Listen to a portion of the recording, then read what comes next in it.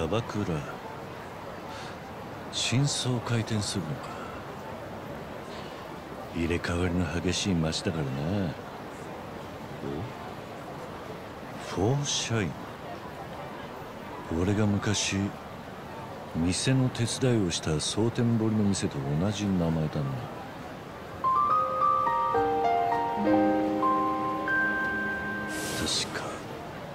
ライバル店の圧力で潰されそうになっていたところ俺が黒服になってサポートしたんだ。大変だったがなかなかいい経験だったな。雪小雪陽太さん。あれ以来会っていないが皆元気だろうか。しかし同じ店名とはもしかして系列店なのかあのうちの店に何かご用ですか？ん？まず。いあれ？どこかでお会いしたような。人違いでしょう。それでは。ん？ん？ん？な何でしょうか？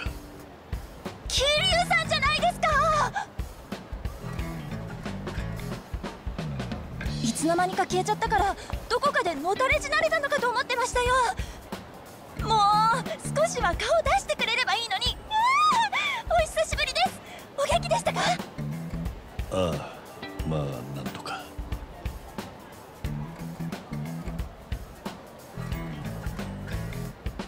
お前こそ元気だったか小雪ここってもしかしてあのフォーシャインか？ですよ。あの大阪ナンバーワンキャバクラフォーシャインが満を持して関東上陸。もうすぐオープン初日なんですよ。ほうすごいじゃないか。でどうなんだ？順調なのか？それがなかなかそうもいかなくて。ようよう関西から来たよそ者さん。まだ帰ってなかったの？困るんだよねよそ者が簡単に店出せると思われちゃうとさカムロ町にはカムロ町の流儀と品格ってのがあるのよ。関西弁のおばさんたちが簡単に足踏み入れていい場所じゃねえの。前から言ってんだろ小雪さんよ。また来た。誰だこいつはライバル店の人ですうちらがカムロ町で商売始めるのが気に食わないらしくてしょっちゅう邪魔したり脅したりしてくるんです。おかげで風評被害も広がるし怖がって女の子も何人か辞めちゃったりして超迷惑してるんです。俺たちも穏便に済ませたいんだけどよ。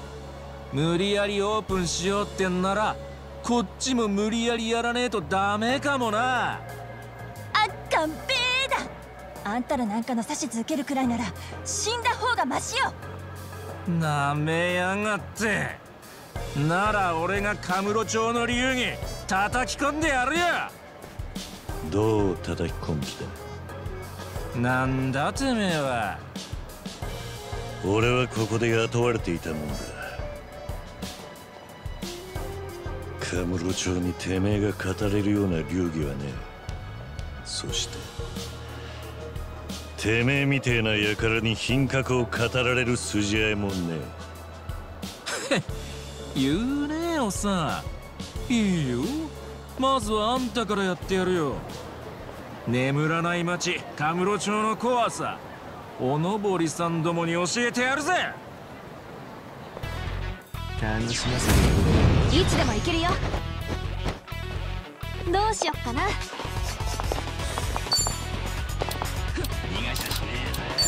見せてあげる。力の差を見せて。恥が知らないか。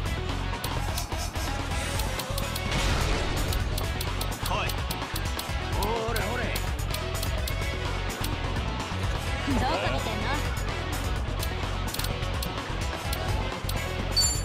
脇が甘いな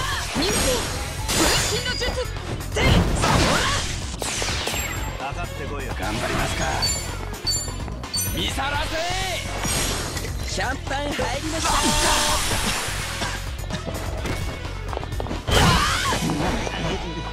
俺の番か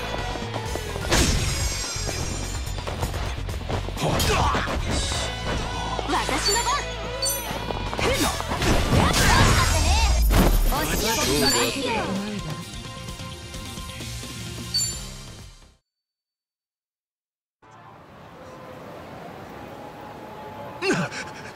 こいつ。めちゃくちゃ強え。さっさと消えろ。この店に手出したら俺が承知しねえぞ。すみませんでした。すみません。また助けてもらっちゃいましたね。桐生さんには助けてもらってばかり。そんなことはないさ。邪魔が入りましたけどせっかくなので中でお茶でも飲んでいってください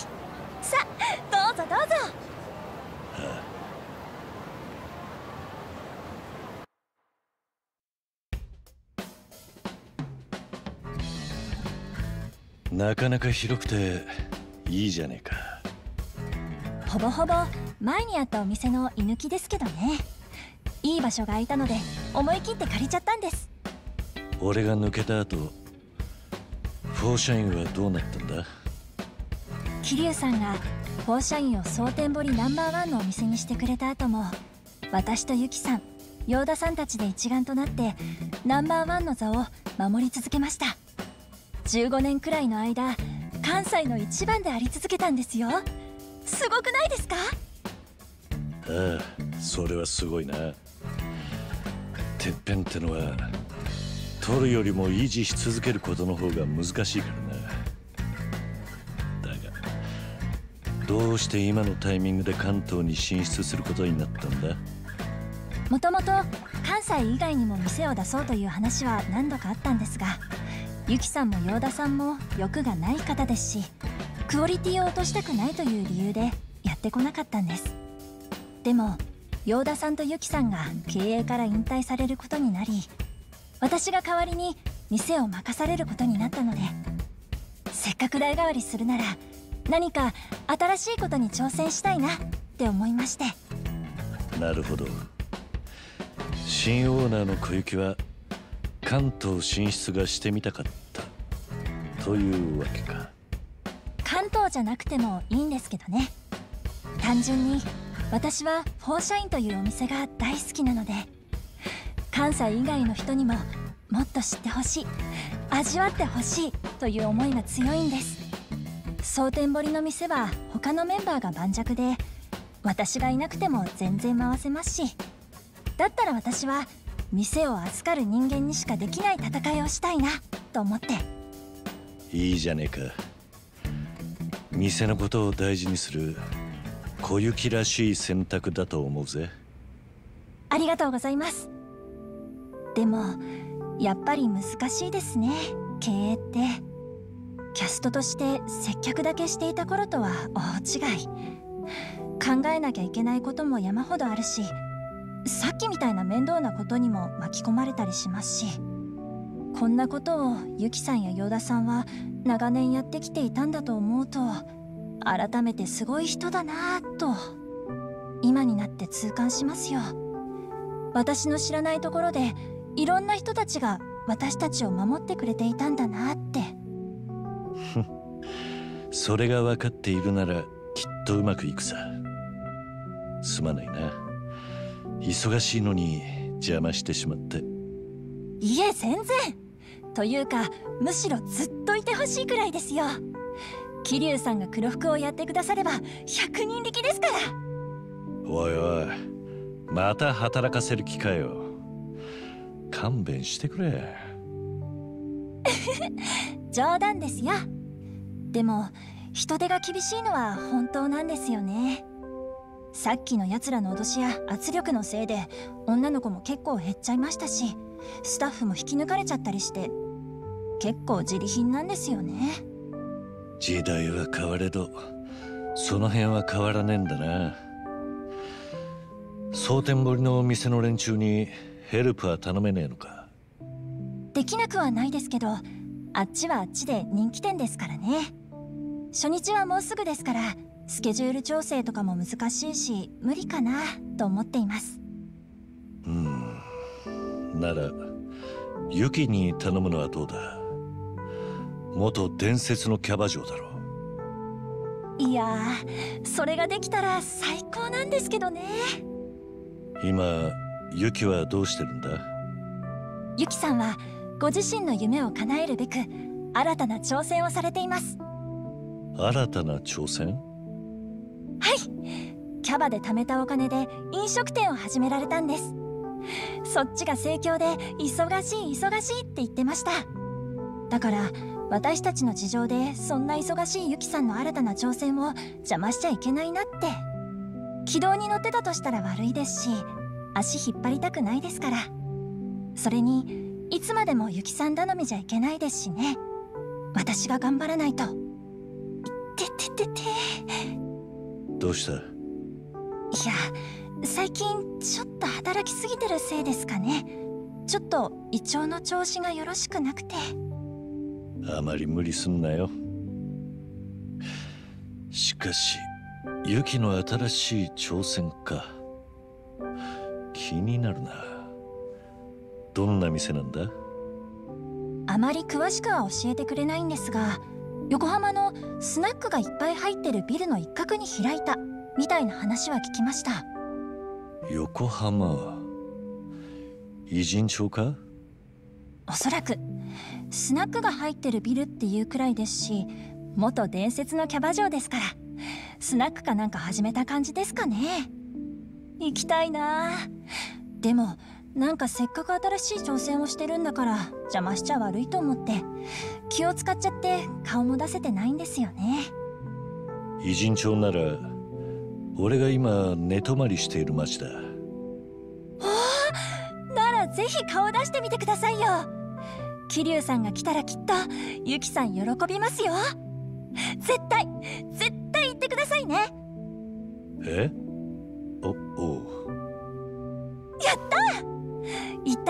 様子を教えてくださいね。もしうちの心配をしていたらお気になさらず忙しいご自身のお店の方に集中してくださいね。と伝えてください。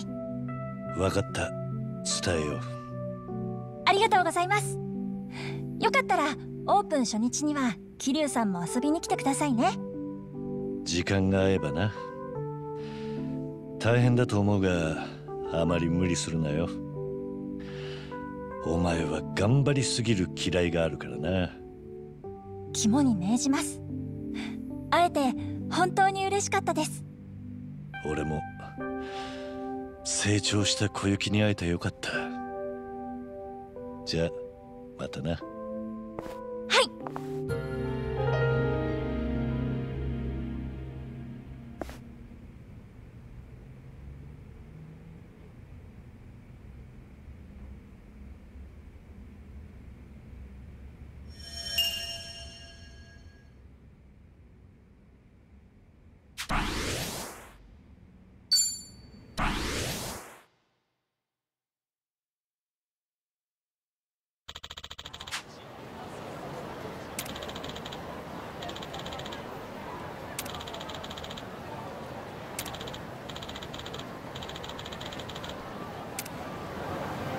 体調版